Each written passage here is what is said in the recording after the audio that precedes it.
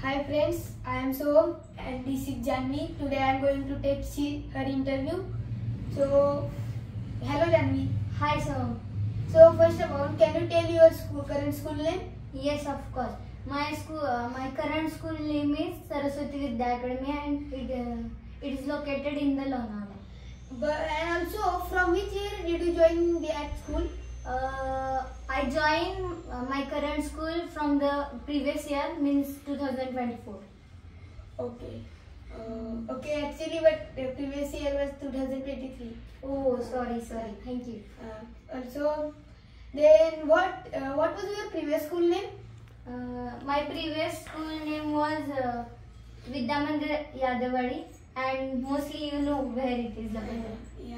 Uh, but uh, did you which school do, did you like the previous school or this current school? Uh, I like mostly both school because uh, I learn new thoughts from the previous school and I am following the same thoughts and good thoughts and good manners in current school so I like mostly both. Uh, yes. Also, what are the three differences which are facing which you are facing in the current school and the previous school? Yes, so I would like to say that uh, first, uh, first major difference is the rules and the climate, which is different.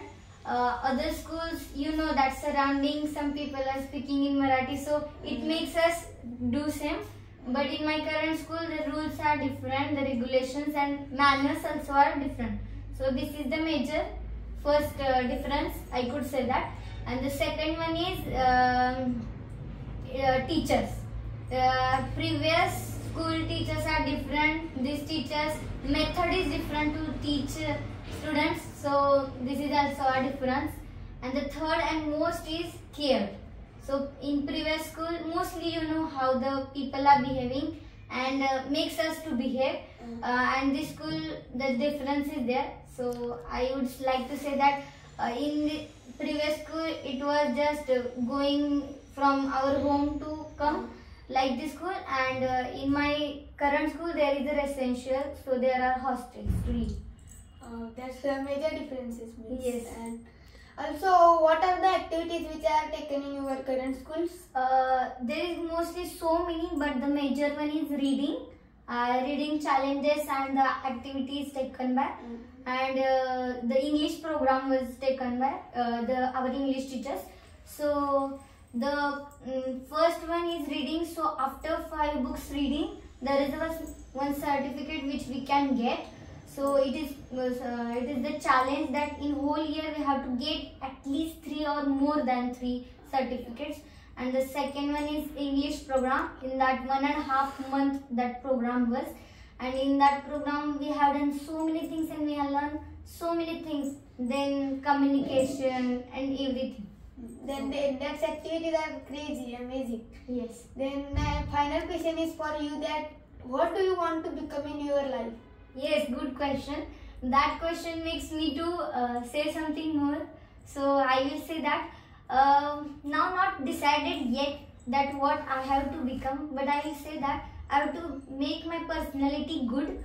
And uh, uh, you mostly know that in our whole world there are so many IPS officers, so many IAS, so many doctors, and so many teachers also. But the teachers are different than my teacher and I would like to become a good personality um, in this world because there are so less, so too much less personality, good personalities in our world. So I think it is needed for our world. And the next thing is which is choiceable, not decided that uh, that could be happen. But I would like to become a teacher because a teacher is making or creating a thought in a student's mind that good thoughts can pass very fastly. So I want to pass so many things, so many good things to this world. So I could say that not decided yet, but I would like to become a teacher. Thank you. So, so I'm glad to take your interview. Thank you. Thank you.